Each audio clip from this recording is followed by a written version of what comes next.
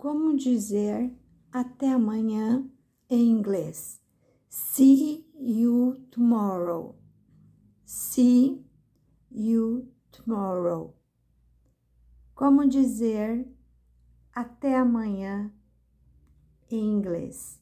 See you tomorrow. Bye.